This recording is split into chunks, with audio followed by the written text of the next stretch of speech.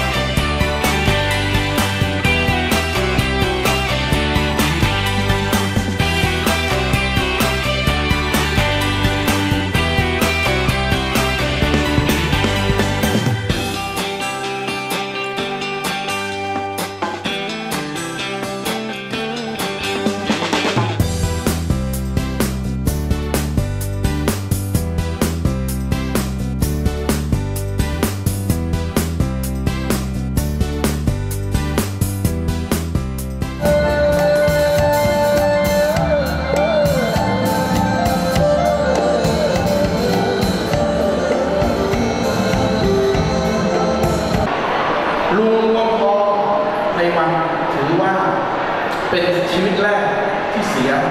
ให้กับการรัฐประหารเมื่อวันที่19กันยายน2549เป็นศพแรกของนักสู้ ผู้ปกป้องประชาธิปไตย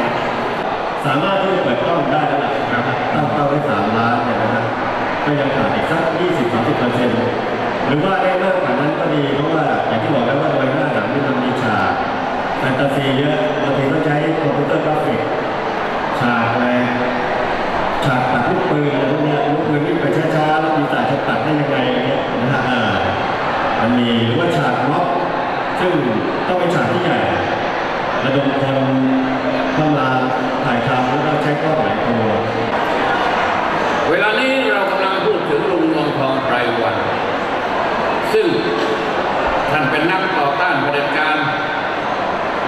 ที่ปรากฏตัวต่อสังคมชัดเจน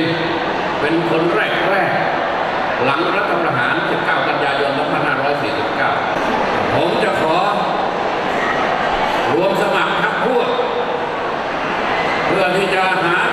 มาสมทบให้กับพวกท่านทั้งหลาย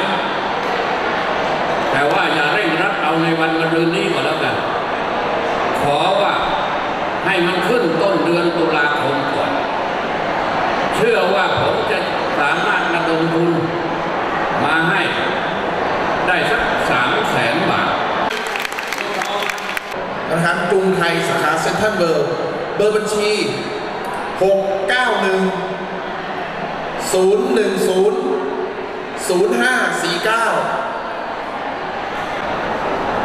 0549 ผมก็ได้ไปเยี่ยม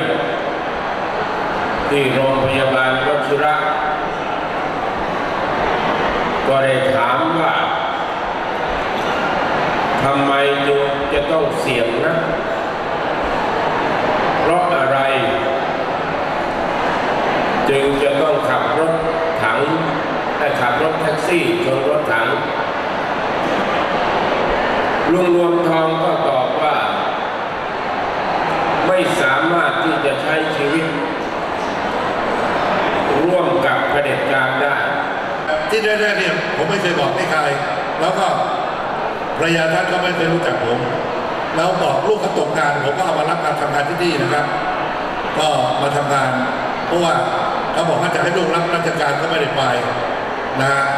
ก็มาทำงานอ่าแต่ปรากฏว่าเขาบอกว่าไกลไปแล้วก็สมัครงานที่เซเว่นอีเลฟเว่นที่ใกล้ๆบ้านเนี่ยได้ก็เลยกลับไปทำงานที่เซเว่นอีเลฟก็คุยแค่นี้ครับ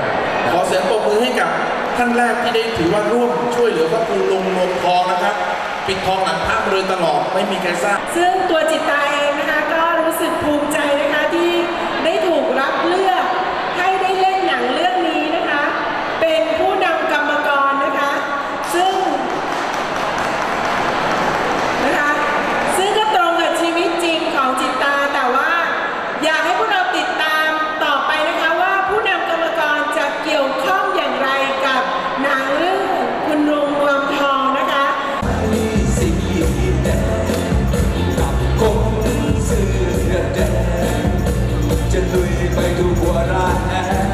goodbye.